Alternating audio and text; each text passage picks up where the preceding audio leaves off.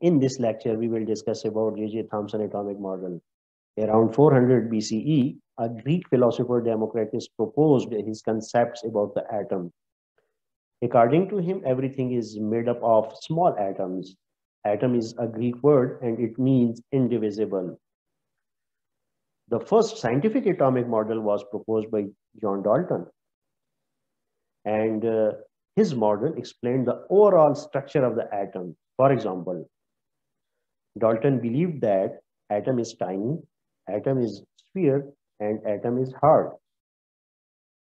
In 1897, English physicist J.J. Thomson proposed his model. And uh, he believed that, yes, atom is tiny and atom is sphere, but he didn't agree with uh, John Dalton on his third point, and that is atom is hard.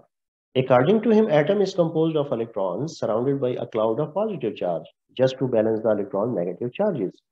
Atom is overall neutral. You may compare this model with the plum pudding, where the raisins are distributed all over the sponge of pudding. Based on this comparison, you can also call this model a plum pudding model. You may compare this with the watermelon as well where the seeds are distributed all over the red part of the watermelon.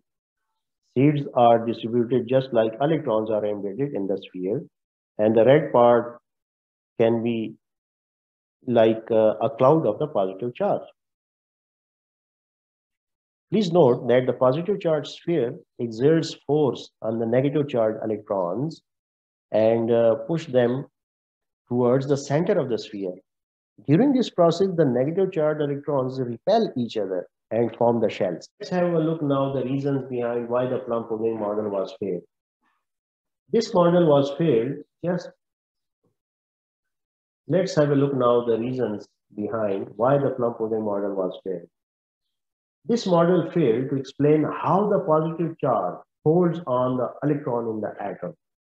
It means it failed to explain the atom's stability.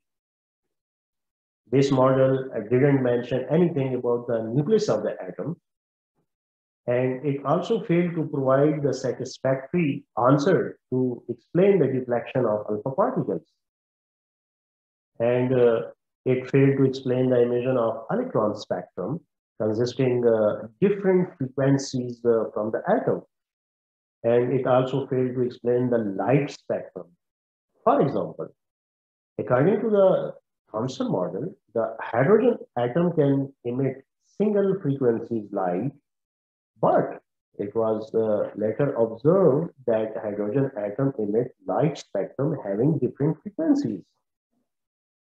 That's all for the today's lecture.